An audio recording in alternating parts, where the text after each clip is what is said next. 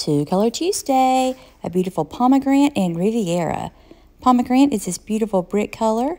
It's a gorgeous red. You can uh, go light or dark, whatever your preference is. And Riviera is this gorgeous gold shimmer right on the inside corner, always using the fingers so you get a little bit more pigment.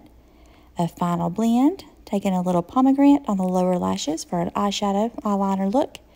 And two beautiful colors.